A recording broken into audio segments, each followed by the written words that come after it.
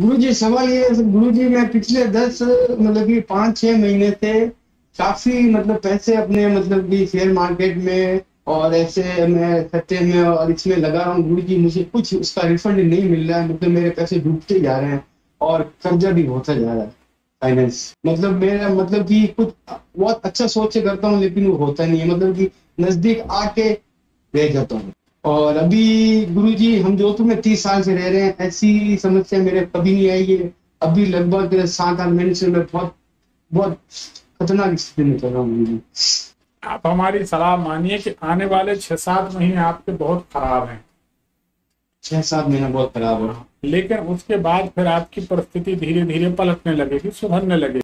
तो मैं ये जानना चाहता हूँ गुरु जी जैसे कि अभी जो मैं ये कर रहा हूँ जैसे कि शेयर बाज़ार में काम और इसमें तो अभी मैं ये गुरु जी मतलब करूँ कि छोड़ दूँ कुछ ये ये कब से कर रहे हैं? तीन चार साल से कर रहे हैं? नहीं तीन चार साल से नहीं कर रहा हूँ। गुरु जी ये ज़्यादा से ज़्यादा अपने पाँच एक महीने हो गए सर। पाँच पाँच महीने हो गए। देखिए सही बात यह है कि जो शेयर और सट्टा से जो काम जिससे पैसा मिलता है वह ग्रह आपका नीच राशि में चला गया है तो आपको वो काम नहीं करना चाहिए। नहीं करने चाहिए नहीं बिल्कुल नहीं करना। इसमें आप पूरी तरह बर्बाद हो जाएँगे नुकसान हो जाएगा।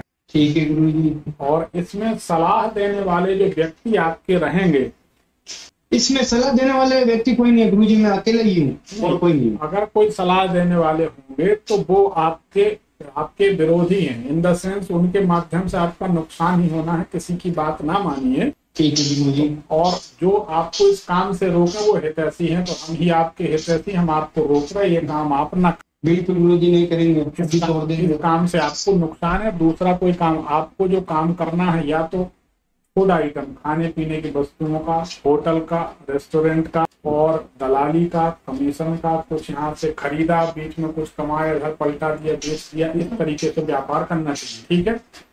ठीक है गुरु जी लेकिन इन सब के सर गुरु जी धन चाहिए धन तो मैंने ये सब किया लेकिन हो नहीं रहा। एक बात बताइए हाँ जी।